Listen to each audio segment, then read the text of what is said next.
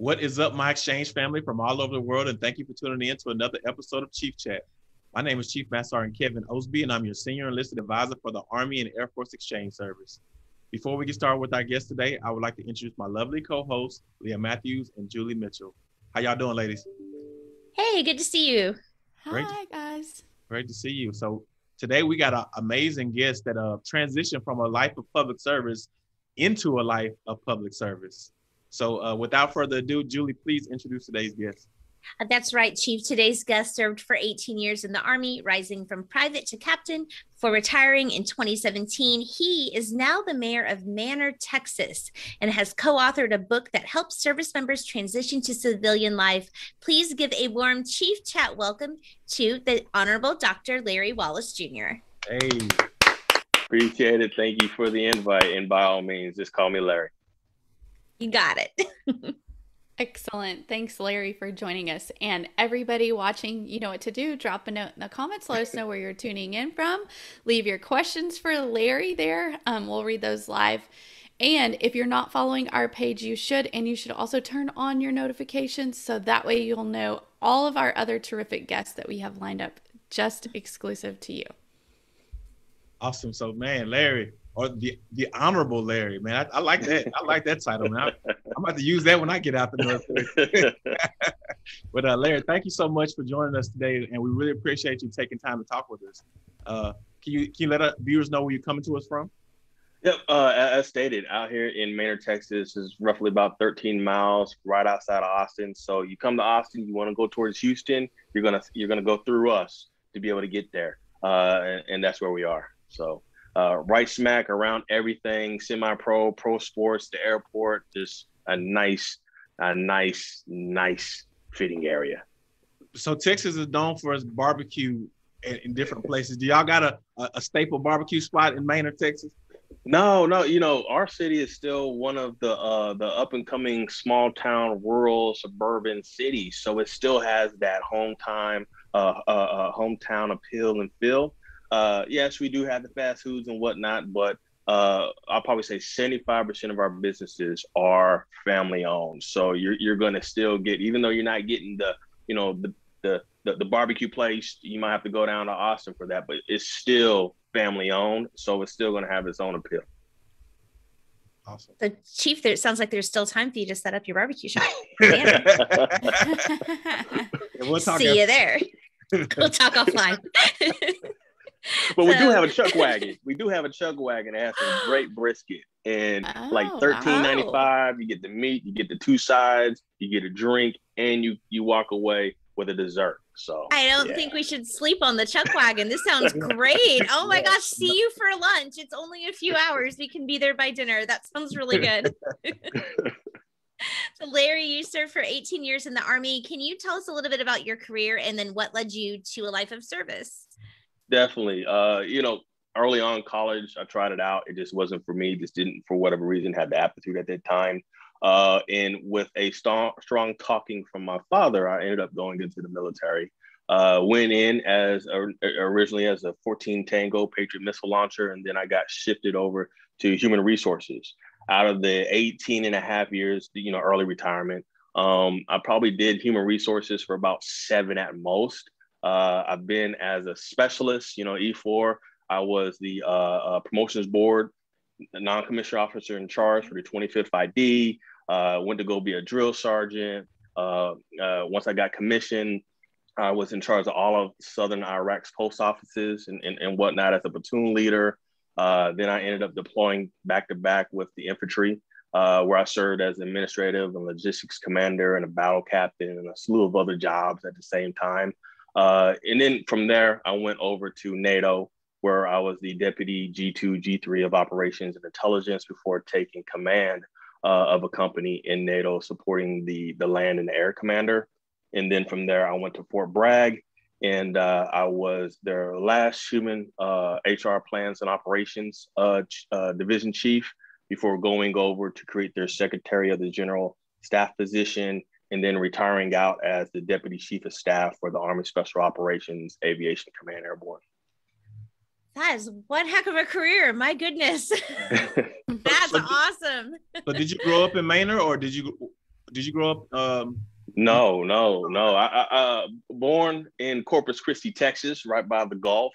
Uh, was adopted at birth by my father, who was drafted from Vietnam, uh, and went down to Fort Sam for his training, the ear, nose, and throat. And I actually grew up in the Dallas Fort Worth area.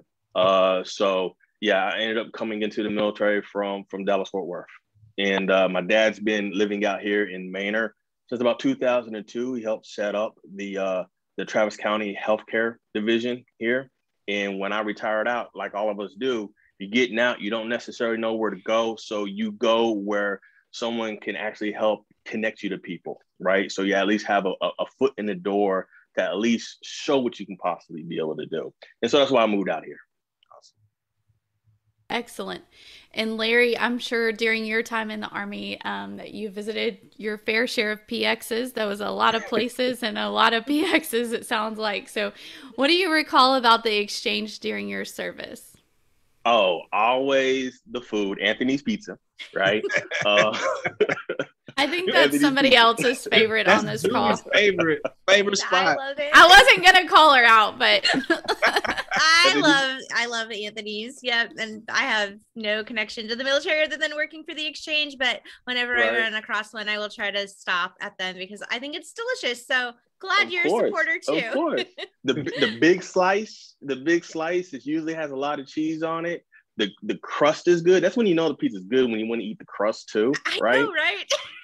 And then you can get the large pizza. It's not that inex- it's not that expensive, right? It's like 10 dollars for a super large pizza. That and uh, Charlie's, Charlie's Philly cheese, uh, Philly steak. Those are the two places I always went to for food. And uh, you know, other than that, uh, especially when I had my kids, you know, I had twins. I have twins, uh, uh, paternal Oh, twins. wow. And so it was going and getting the clothes where you can get them and they're not that expensive, but they still look nice, right? So I'm in there just shopping, buying a whole bunch of clothes. They're my first kids. So we all spend more than what we should with our first kids. Oh, I'm so glad you mentioned the value for military families that the exchange provides, as we do really try hard to provide for military families who are doing all they can for us. So we have a, a great clothing, gl- great clothing price points, and they're they're good brands that hold up wash after wash. So I'm really glad that you mentioned that that value that comes for families. Yeah, But I'm, not glad that you're mentioning all these food places because it's 11 o'clock and man, I'm, I'm starving. I, I'm like, my stomach is growling right now. And we, we keep talking about food, man. That's uh, so, so just to kind of transition a little bit, Larry, you, you uh, co-wrote a book uh, to help service members prepare for life in the civilian world, which is super, super important because I think that um, kind of, you know, using my own self as an example, um, all you do is, you know, when you decide that you're going to make uh, the military a career, you're just waiting on your time to reenlist again, and you don't really think Mhm. about the transition or what. And and so now I'm at a point in my career where I got to start thinking about, okay, what do I want to do when I grow up? Because because you know I'm on the tail end of my career. So uh, can you kind of you know tell us a little bit about the book and tell us what the most most important thing service members need to know Okay. when they leave the military? Absolutely. So what I'll do, I'll show it to you. So this this is the book, The Transition, uh, preparing for financial combat. And a lot of people believe it's how to deal with finances, and, and that's not necessarily the case. Uh, in, in actuality, it's the aspect, uh, a psychological aspect of how you manage your transition will have a financial implication, right? So how little prepared, how uh, uh, you don't assess and, and try to correlate things will have that impact. And you potentially are making bad decisions or making misdecisions because you just didn't take the pro- proper time to analyze things. And so it's about 140 pages. The first 70 are pretty much what we call aha moments. I, I just wish I would have known it. The book is not written in any aspect where most books are written in this is how I got to where I'm at. So follow me. And, and we really stayed away from that off of, I had a brigadier general, I was a platoon leader that said this. He said, What got me to be a one star is not going to be the same things to get you to be a one star. And so here it's, it's an aspect of saying, Hey, think of Murphy's Law when you're doing interviews. Noise is going to happen. These things are going to happen. So prepare, plan for that. Even when everybody's out the house, somebody's probably going to come in the house when you didn't expect it. Or when you're going and doing interviews, make sure you do some research and you're not wearing the competitor's colors or, or anything like that, right? Uh, because you just didn't know. um, you know, those types of things. So it's it's about 70 pages of a lot of that, and really saying your time in the military has set you up to be a great transition person. You know, we, we have the military career timeline. So go and develop your civilian one.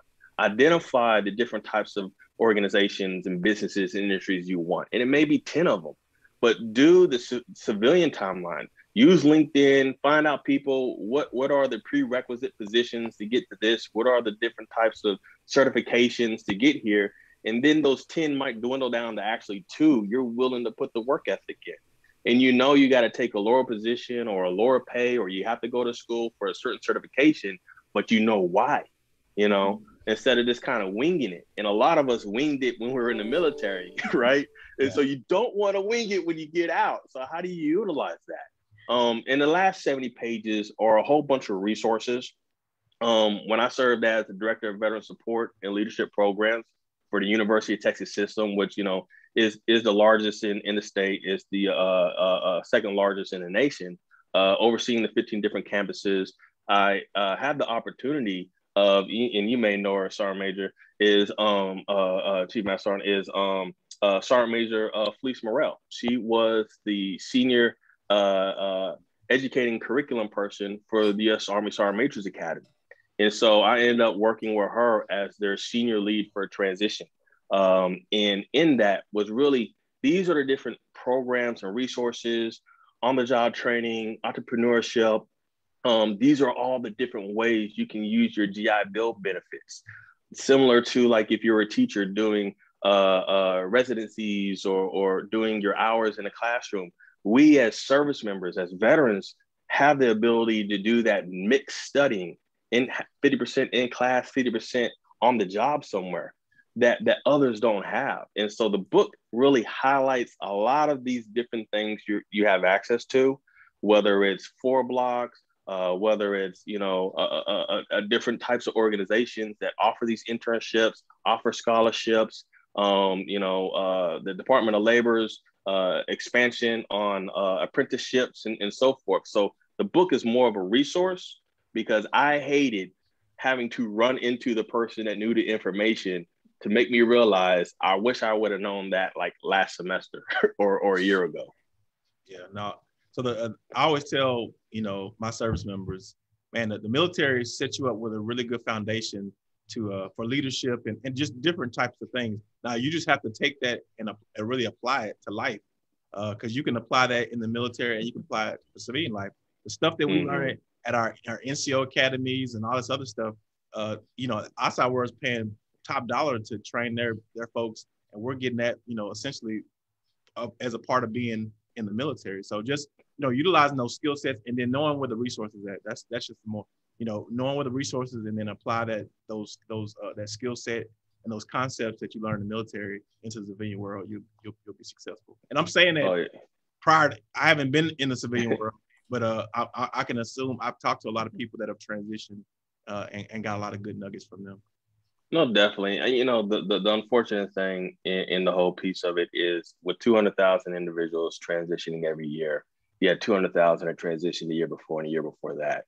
So when you're coming out, you're competing not just with the other, you know, 199,999, but the previous years. And then all the veterans that are in positions looking for jobs, and then all the civilians that are looking for jobs. So how are you leaning forward enough to really be able to say, you know, even though I'm 11 or Bravo, 11 Bravo, people say I'm just kicking in the doors, that I'm really learning attention to detail. That when I kick in that door and it happens to be dark, I know where the first man, per, first person, second person, third person, muzzle awareness. If a flashbang goes off, I'm able to assess the situation. Like that attention to detail and that quick analysis, that's worth something. Mm-hmm. But it, unless you take the time to really sit back and say, even though I'm 11 Bravo and you're 11 Bravo, even though I'm a human resources person and you're a human resources person, if I was not in that job, the way I think, the way I did things, the way I engaged with people, what value or what would have to be done if I wasn't there? The job still had to be done, but the way I went about it, how did I do that? And that's usually the piece where a lot of us, when we transition, we don't know who we are because we ha- we haven't taken that time to take the uniform off and really assess where we help the organizations day one by coming in with our certain personalities. Gotcha. And transitioning to civilian life, has worked out well for you. Uh, you're the mayor, as we talked about, of Manor, Texas, just outside of Austin, one of the fastest growing suburbs in the nation. What called you to, to a life of civic leadership after military leadership? well, I moved my, my wife and kids here, so uh, uh I don't want to hear them saying, uh, "You brought us here." No, um, so, so it was a little bit of that, but also just getting out and you know not knowing anything. And I'm I'm a I'm a I'm a home buddy, right? I, I'm good at staying home. So uh, unless I'm engaged in stuff, I don't necessarily know what's going on. With you know, people come visit, I don't know where to take them. Uh, those types of things. So a lot of the people I connected with early on said, "Hey, if you want to know what's going on with the city, you want to know how it's growing, what it's going to have, what it's not, and so forth, get on planning and zoning." So I got on planning and zoning. I did that for about eight months, and I just felt like I want to do more in City Hall was just kind of yeah, but that's not your job. You know, you do this, council does this, we do this, and I'm like, ah, I'm not feeling it. And so I decided to go ahead and run for city council. I end up winning and getting on city council as a council member. And I was like, this feels like being back as an executive officer or, or a commander. I can get involved in everything. I can ask everybody everything. You know, people can come to me and I can go there. I can just get in it all, right? And I enjoyed it and uh, our, our position for mayor opened up and uh, I really had to make the decision: do I step down nine months in as a council member to run for mayor? And I made a decision and said, look, if I if I really am doing this to better the city, to better the livelihood for for my family and now others, um, then then what am I saying by just sitting back to build time and, and additional credibility to run for the position, right? and knowing, as you said, we're the seventh fastest growing suburb in America, uh, and then you know one of the twentieth best small suburbs to live in America.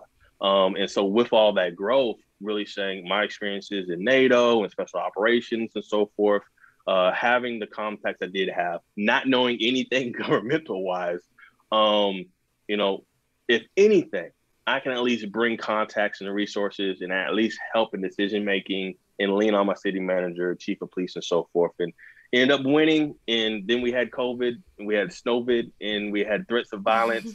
and uh, you know, really quickly, it, it, it came to see that the leadership aspect that I thought I could bring to the table really ended up being the significant factor in how our community was taken care of versus a lot of the other ones around us.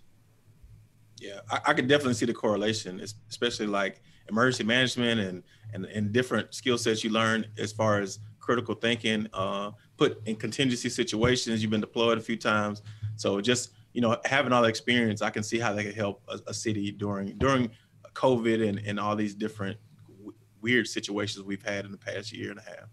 A right place, right time. Yeah. I mean, nice. yep congratulations. That's great. No, appreciate it. Appreciate it. You know, the interesting thing was when when when COVID first started, the first thing that came to my mind was, all right, we're if I'm on a fob, right? If I'm on a forward operating base and we get cut off by all resources. Um, so I started planning healthcare, food, you know, those different things. And, you know, that that 30 days of COVID is going to be around turned into what?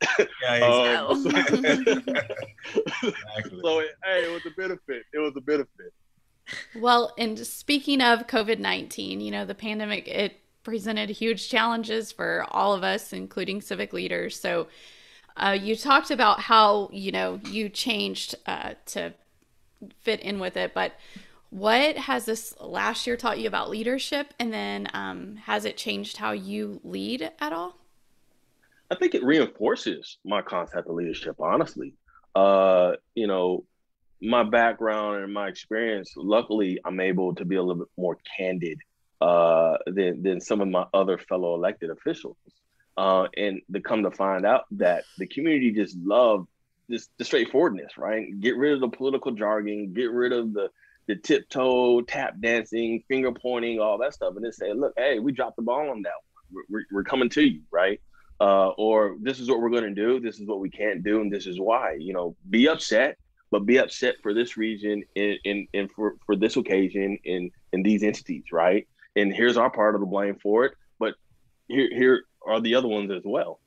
Um, you know, it also makes me think of the piece of there's a lot of people that look at you and and see things in you that you don't see. But then in this time too, I would say there's also a reverse that a lot of us have. We feel that we can do something that other people just don't necessarily understand. In my experience, even though I retired as a junior officer, as a captain, my experiences in working with general officers and you know whatnot in all those different capacities, I felt that I was able to do more than just the normal. Here's your rank. This is your lane type of a thing. Uh, in you know, with the unfortunate circumstances of this past two years, uh, what I felt I could do, uh, I, I, think it was demonstrated and, and, shown. And the things I learned from my unique military career service was of great benefit to ensuring the 40,000 people in and around my city. Yeah. And, and, you know what? I love the word candid uh, in the military because I, I, know what that means.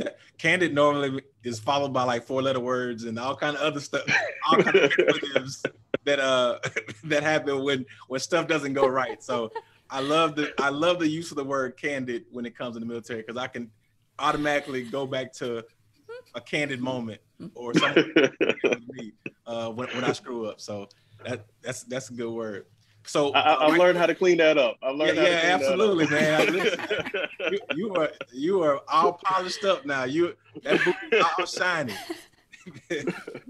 so uh we you got a super captive audience today. You got soldiers, airmen, guardians, sailors, marines, and coast guard members joining us on, on the live today. What words of inspiration or hope do you have for the military community? You know, honestly, I would say this. You know, go out and do the broadening assignments. Do, do what you can and, and, and assess where you want to be post military while you're still in so you can utilize your military career to set you up for that transition. I think a lot of us we get so focused into the assignment to get promoted that we forget to also make the assignments to get the experience to to to to get the training to get the credentials that we'll also need when we transition to go into the next phase that we want to do. And even though you might have come in in a career field that may not necessarily align with where you want to go, how do you still pick an assignment to where you can do the training, you can you can do the broadening assignments, or have the the the eyes on exposure opportunities to start gaining some of that knowledge and some of that wisdom. So you shorten that gap when you do make the transition Excellent advice. Um, thanks for those words. So, Larry, before we wrap up, want to pause just for a second and share some comments from our live viewers. So, um, Army Family and MWR programs, um, probably know them as Army MWR. Uh, mm-hmm. They say, Hi, Exchange Team. We are sharing this interview on our page. Thanks, Larry, for your military service and continued service as mayor. All right. I, I love the MWR. I don't know how many trips I've done, especially over in Europe. Yeah. I, I wish we had one local other than Fort Hood, which is like 45 minutes away. So. And then Emily Hill says, I would definitely pass that book on to my son. Uh, so informative. He's Army, um, and so informative and specific.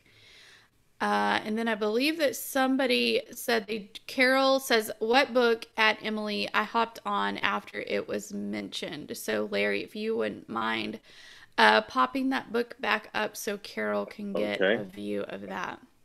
Definitely, it's the transition, preparing for financial combat. And uh, I think we're finalizing uh, the, the, the, the um, getting it listed on AAFES to be in the to be in the stores. I know uh, before COVID happened, we had already did the contract and whatnot. So I'm looking forward to hopefully by the end of this year, we actually have the books on on the shelves uh, within within the exchange.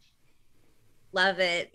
yeah, def- definitely. And, and like I said, um, there, and you you mentioned some words when you were uh, kind of giving some words of inspiration to our military community, but um, I think no matter what your job is in the military, there's there's there's points of of your training or where you learn different uh, things that that can translate. You just have to look at it from a different lens when you're applying it to a different job or whatever the case may be. So uh, like I said, even for for me as a young Marine when I first came in, uh, I was like, how's this job gonna translate to anything that I want to do on the outside world? But then I got a chance to really just kind of break down what I actually did and how I got to that point, or to from A to Z, and just applied it differently, but but the same skills and and same because just like just like going to college. So I go to college, and I'm, they have these fancy words for exactly what I just did yesterday at work. Yep. And I'm just like, okay, this is the fancy word for what I just did at work.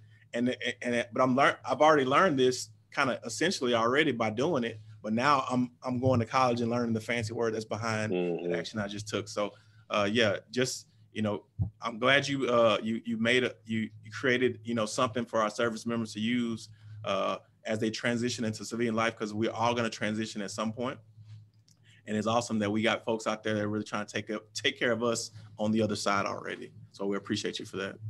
No, I appreciate it, and you know, definitely, I understand what you're talking about. Where for us, we call it military decision making process, and you go you go to a business school, and they're going to say SWOT analysis, strengths, weaknesses, yeah. opportunities, you know, or they're going to say Porter's five forces. What are the influencers and so forth, and that's why I say again, that's the key part of depending upon what industry you want to go into, starting to have that time and use that year or two years before you get out to start understanding the terminology. Absolutely. And you'll start seeing how quickly you're already doing that stuff. Yeah. They just think you don't know it because you're not using the right language. And you know, the other key piece is 80% of our nation has no association affiliation with the military. So whenever you do your resumes, whenever you're talking and doing interviews, first ask if they have any military military uh, uh, affiliation or association, but then also always realize only 20% at any given time has any connective tissue to the military. Yep. Great, great nuggets. And we appreciate you. So, Larry, we appreciate you sharing your time with us today. Uh, great insight. Uh, definitely looking forward to checking out the book. Uh, thank you for your service, first and foremost. Just, you know, you know, doing 18 years, or I mean, doing any time in the military is a commitment in itself, and and and for you to do, uh, you know, a very very you know outstanding careers worth of of you know being associated with the military is just you know just thank you for that, and thank you for kind of blazing the trail for folks like me that are still in. Uh, but also blazing a trail to, to make sure that we transition out the right way.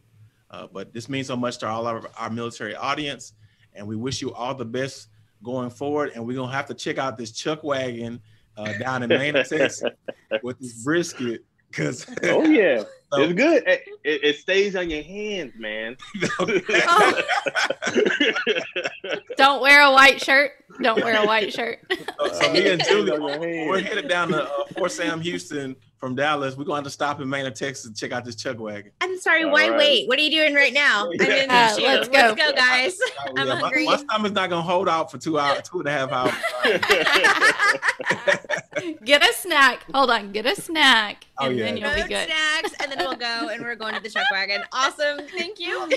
Definitely. No problem. Thanks for the invite. Well, Larry, thank you so much. And we wish you well going forward. And uh, Chief Chat out.